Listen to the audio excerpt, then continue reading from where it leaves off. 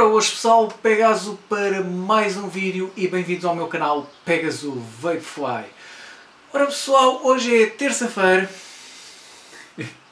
ok, pronto pessoal, hoje não é terça-feira, é quarta-feira. Epá, vocês desculpem lá esta coisa das datas, mas tenho andado bastante ocupado e é complicado.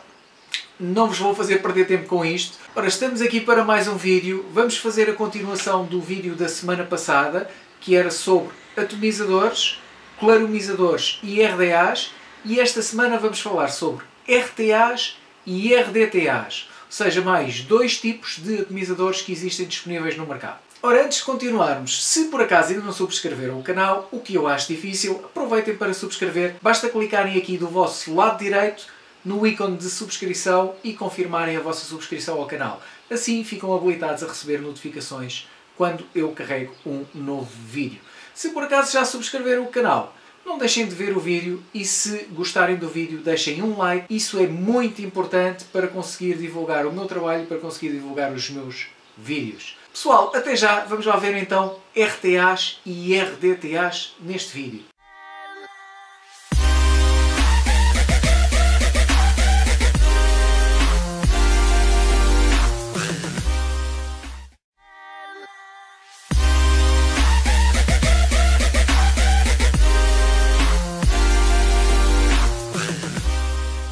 Os RTAs começaram por se chamar RBAs, ou seja, Rebuildable Atomizers. Na prática, essa designação deixou de se usar quando começaram a surgir outros tipos de atomizadores e então houve a necessidade de se achar uma designação específica para os RTAs.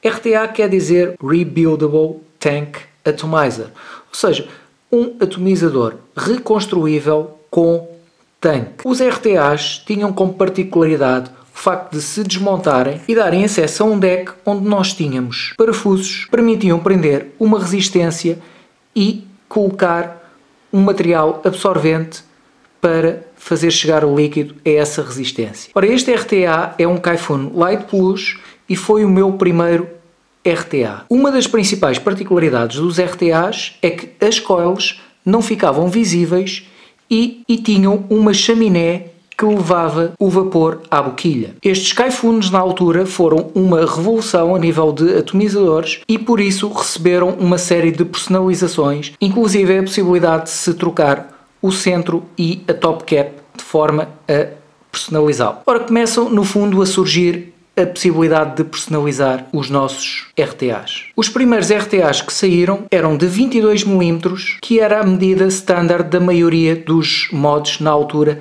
principalmente utilizava-se mods mecânicos. Para começaram por surgir com single coil, ou seja, a possibilidade de construir uma resistência, tendo surgido logo de seguida a possibilidade de construir duas resistências num deck. É o caso de este Orchid. As entradas de ar, apesar de começarem a aparecer maiores, continuavam a permitir apenas uma puxada restrita. Esta puxada restrita que simulava o fumar de um cigarro, nós chamamos MTL ou Mount to Lung ou em português garganta pulmão. Os Kaifuns fabricados na altura pela Svolmesto tiveram tanto sucesso que, para além das várias personalizações que sofreram nesta gama do 3.1 Light Plus, a Svolmeso continuou a fabricar versões até chegarmos ao mais recente, que é o V5. Passámos pelo V4, pelo V3 e atualmente estamos no V5. Relativamente ao V5, ou seja, à atualidade, começam a surgir aqui algumas melhorias que foram adicionadas para tornar os atomizadores mais funcionais.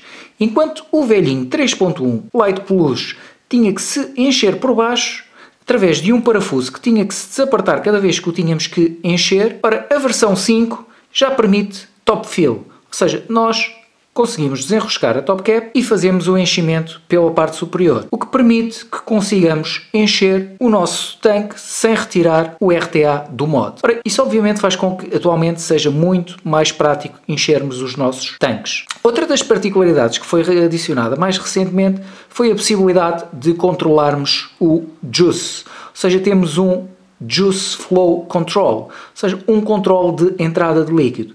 Esta particularidade permite, através de um mecanismo de aperto ou desaperto, fazer com que entre mais ou menos líquido para a nossa wick. Isto tornou-se importante uma vez que os líquidos começaram a ter diferentes consistências.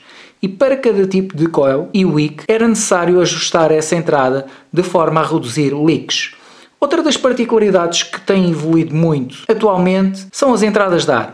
Seja, as entradas de ar são quase obrigatoriamente reguláveis e permitem abrir ou fechar o fluxo de ar para a boquilha. Continuamos, no entanto, a ter a possibilidade de trocar a nossa drip tip para uma drip tip compatível e apesar de já terem surgido outras variantes, continuamos a utilizar as drip tips 510. Os RTAs atualmente têm uma configuração muito semelhante entre si, com algumas diferenças entre modelos. Seja top fill, seja side fill, seja top airflow, seja bottom airflow, seja single coil, seja dual coil, ou com a possibilidade de ser misto, sendo que podemos construir single coil ou dual coil no interior ou eventualmente um sistema de intercâmbio de decks de bases de construção que surge também atualmente com muita frequência. Eles têm diversas capacidades mediante a sua altura e a sua largura, sendo que variam entre 23 e 25 mm, apesar de haver tanques, como é óbvio, já muito mais largos, de 30 e de 40 mm de largura. Uma das variações mais frequentes dos RTAs hoje em dia são os chamados minis ou nanos. Um RTA mini ou nano é, na prática, um RTA que é encurtado sacrificando o espaço de líquido no seu interior para que ele se torne mais baixo, ou seja, mais pequeno. Ora pessoal, falámos de RTAs, vamos falar agora de outro tipo de atomizadores que são os RDTAs. Rebuildable Dripper Tank Atomizer. Ou seja, na prática é um atomizador reconstruível e nesta parte é em tudo igual aos que nós já vimos, temos que ser nós a reconstruir a nossa própria coil e apresentam-se em opções de single coil ou dual coil, mas o que é pretendido é replicar as funcionalidades de um RDA, seja, de um dripper, mas com a possibilidade de haver um reservatório de líquido para aumentar a autonomia e para evitar que seja necessário estarmos a adicionar líquidos a gotas para o seu funcionamento. Um RDTA tem como particularidade o facto de ter as suas coils sempre à vista. Ele não tem chaminé e, regra geral, o fluxo de ar é direto entre a coil e a boquilha. Ele tem um reservatório para colocar líquido e nós podemos fazer o enchimento desse reservatório por uma porta de enchimento. As drip tips nos RDTAs costumam ser um pouco mais largas. Enquanto nós tínhamos as nossas velhinhas drip tips 510, estas, a grande maioria das vezes, já não são compatíveis com os nossos RDTAs, sendo que são utilizadas drip tips muitas vezes diferentes entre marcas, o que faz com que a compatibilidade entre si por vezes não aconteça. Os RDTAs podem surgir com top airflow, bottom airflow e com um misto dos dois. Não é incomum ver um RDTA com uma drip tip que seja personalizável, embora muitas vezes os RDTAs tragam um adaptador que nós chamamos adaptador 510 que nos permite encaixar na top cap e utilizarmos na mesma uma drip tip compatível com o velho modelo 510. Este RDTA é preto e começam a surgir no mercado atomizadores de várias cores. Uma das questões que eu gostaria de falar aqui relativamente aos RDTAs é que existem no mercado, por vezes, RTAs que são apelidados de RDTAs. Ora, vamos ver as diferenças. Nós temos aqui o Smoke TF RDTA ou seja, a própria marca chama RDTA e temos aqui o Aromamizer Supreme Plus, que também é apelidado como RDTA. Mas na prática, estes dois tanques, na minha opinião, não são RDTAs, são RTAs. Isto acontece muitas vezes devido a alguns interesses comerciais e de marketing. Ou seja, os RDAs têm uma cota no mercado tão significativa que muitas vezes saem RTAs apelidados pelas marcas como RDTA DTAs. Se nós formos comparar estes dois atomizadores, vamos ver aqui algumas diferenças. Apesar do tanque deste RDTA ser inferior e deste RTA ser superior, a diferença não está aí. A diferença está no deck. Este deck Dual Coil tem uma câmara de evaporação e tem uma chaminé que leva o vapor à boquilha. esta coil nunca é visível, nem nunca pode ser pingada com líquido. No caso de este RDTA, as coils estão na parte superior, não existe na prática câmara de evaporação, entrada de ar é direta e nós podemos continuar a pingar as nossas coils com líquido. Pessoal, hoje falámos de RTAs e de RDTAs.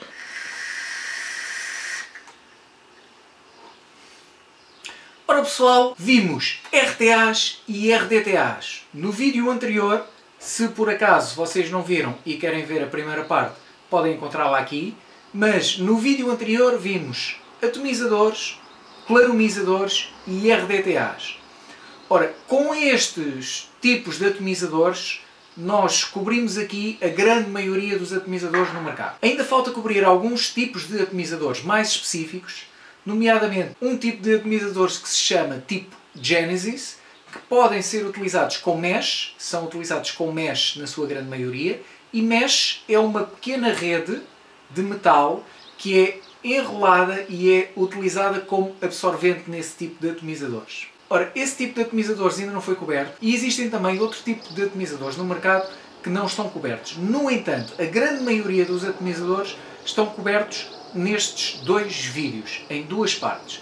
Ora, aqui o objetivo foi dar-vos aqui um panorama geral das diferenças e, e, das semelhanças entre e também um pouco das evoluções que foram sofridas ao longo do tempo entre os atomizadores. Ou seja, como vocês viram, passámos de atomizadores que, apesar de serem recarregáveis, eram descartáveis quando a resistência acabasse ou quando a resistência ficasse demasiado saturada e começasse a saber a queimado, eram descartáveis, mandava-se para o lixo para atomizadores em que nos permite fazermos a nossa própria resistência, alterarmos a nossa própria resistência, tem um tempo de vida muito maior e uma capacidade de personalização a nível de, de, de resistência muito maior. Quem está aqui no intermédio tem os claromizadores que continuam a ter resistências comerciais e que eh, podem ser uh, trocadas e mandadas fora e aproveitam sempre o corpo do atomizador. Agora, a questão aqui de existir tanto tipo de atomizadores no mercado tem, na minha opinião, a ver aqui um pouco com a evolução que as coisas levaram ao longo do tempo. O vaping é relativamente novo, teve uma grande explosão há 3 ou 4 anos atrás e todos os dias saem coisas novas. Dentro destes tipos de atomizadores, há atomizadores que têm uma performance melhor, outros têm uma performance pior. O que eu acho importante, se vocês estão a ver este vídeo e se interessam por este caso, é o vosso tipo de vaping de certeza que se insere dentro de um tipo de atomizador eventualmente dois tipos de atomizador no máximo. Isso é muito importante quando vocês procuram um atomizador novo ou quando procuram um produto, um produto novo. Todos os atomizadores têm particularidades diferentes e são essas particularidades que vos vão fazer gostar mais ou menos de um determinado tipo de atomizador. Por exemplo, se vocês não têm paciência para andar a colocar gotas de líquido no vosso atomizador, não vão ter um RDA. Se vocês por acaso não têm paciência para fazer a vossa coil, não vão ter um RTA.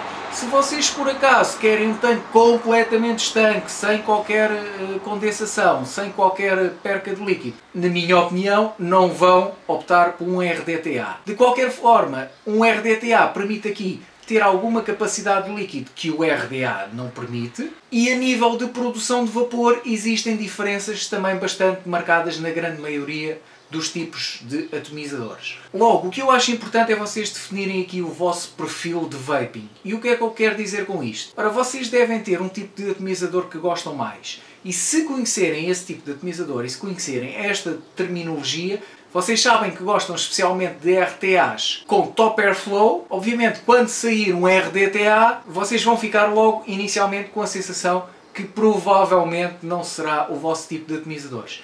Existem atomizadores no mercado para toda a gente, de certeza absoluta que vocês mais cedo ou mais tarde vão encontrar o vosso tipo de vaping, o vosso perfil de vaping, e digo-vos uma coisa, o que funciona para vocês pode não funcionar para mim. Por isso vocês tenham atenção quando existem recomendações que vos são feitas de determinados tipos de atomizadores, confiram se efetivamente esse tipo de atomizador se insere no vosso perfil de vaping ou arriscam-se a estar sempre a trocar de atomizador, a nunca encontrar o vosso sweet spot e eventualmente a gastar aqui algum dinheiro que é desnecessário. Bom pessoal, o que vos queria dizer sobre atomizadores está dito nestes dois vídeos, espero que não me tenha esquecido aqui de nenhum pormenor importante. Como vocês sabem podem seguir nas redes sociais, Facebook, Instagram e Twitter. Não se esqueçam que neste momento eu estou a fazer dois vídeos por semana, um tutorial à terça-feira e uma review à sexta-feira, desde que as coisas corram bem aqui dentro da minha disponibilidade e aproveitar para agradecer o apoio que o pessoal tem demonstrado nestes últimos dias. Qualquer dúvida, deixem nos comentários. Fiquem bem e vape on!